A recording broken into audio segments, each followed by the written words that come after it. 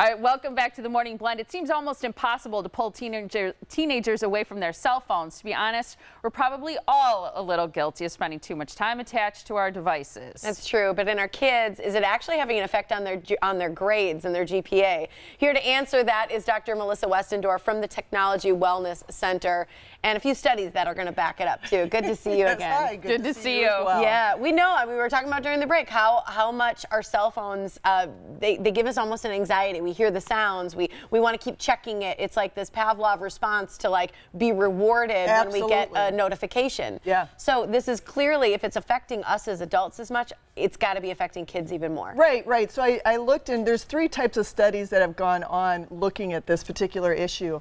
And so one of the studies, they looked at college students and what their cell phone use was during class is what they're looking at, okay? Interesting. And so they did a self-report and they held con- what they call in research holding constant things that they know relate to college GPA, like high school GPA, if you believe you can work hard and earn a good GPA, your smoking status, that sort Yep. of thing. So they held all those constant.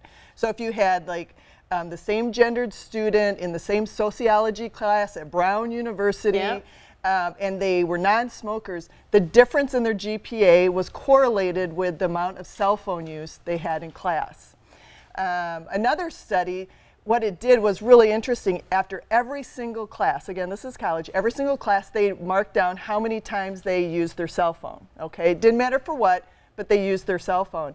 And what they saw was that it was, again, associated with their GPA. The more they used, um, the less, the lower their GPA. It significantly It too? was well, you know, it was like 0.5, 0.6. But if you're looking to get into nursing school, Yeah, that can- Right. 0.3 might make the difference, right? Mm-hmm. And so what they saw is even over time. So like if a student was using more up into a test, their score was lower. If they used less, their score would get higher.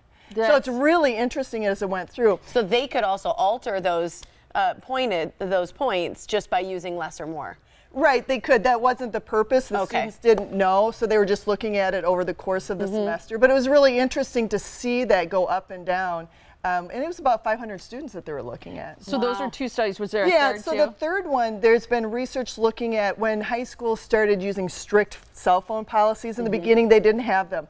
The average GPA has gone up in those schools after they implemented that strict policy. Well, okay, this is fascinating that you just brought that up because my oldest daughter has graduated from high school and is now in college, and I worry about her cell phone Right. use um, because now it's all she's all on her own, Right, you know, know. so it's all Free for all. I know. self self-regulated. Yeah. But my my son is just starting high school, and it used to be that my daughter in high school could have her phone on her. They couldn't necessarily use it during class, Right. but he said now when he gets to class, they have to put him in I don't know like a cubby or like a slot, sure. and check in their phone and then Right, take right. it when they leave class. Yeah, I think teachers use that for attendance now. Yeah, and I was super excited to hear about that. Yeah. I like that Right, actually, um, because I think even if it's on silent or um, just on vibrator vibration, there's still it's still going to Oh be yeah, a distraction. can pull it out and look under the desk. and Yeah. we've all done yes, that, right? yes. So Yeah. yeah. so really there is a correlation. Now, there could be some other third variable that's a part of this. Say if it's somebody who's more anxious, they're looking at their phone more and they're having a hard time in school and their GPA is lower.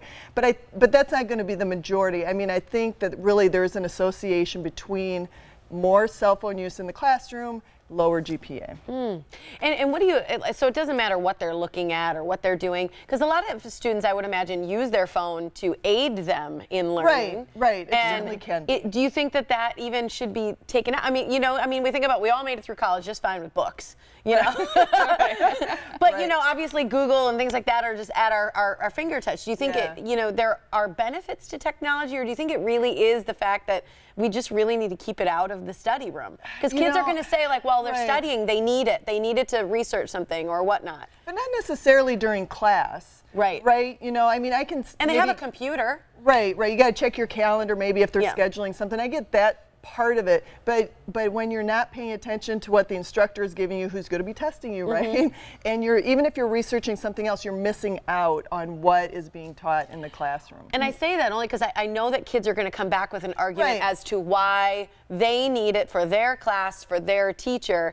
And parents, I think, need to be equipped to answer that, that Absolutely. no. You know? Mhm. Absolutely. Real quick, what's your suggestion to parents and maybe during homework? Mm-hmm. Because you can't, if you if you send a kid to, to school with their phone, you can't regulate emulate what they do with it at school. Right, right. So you practice it in the home. We, you know, at middle school, high school, when um, homework is really important, then what you do is you say, hey, you need to do 30 minutes without any devices. Now they may have to use their computer, obviously, and you're going to have to watch that because Facebook can be on there. Yeah, but there's messaging. um, yeah, right. yeah, they probably don't use Facebook anymore. Yeah. But anyway. Um, they need they need to get in regular habit of 30 minutes of this is what I'm dedicated to. Yeah. You know, and then Focus. if they have an hour's worth of homework, then yeah, they do 20 minutes. You take, give them a break. They can do whatever they want on social media, then go back to it. So get them in the habit of it. I mean, it, even like when they're sitting down to dinner. I mean, really in a restaurant. Yeah. They should be learning to sit down, be able to have a conversation, um, do their homework, sit in class without their phone. Yes, or their tablet. It's huge. Any of it. I Yeah, know. it's hard, and it's up to us because I think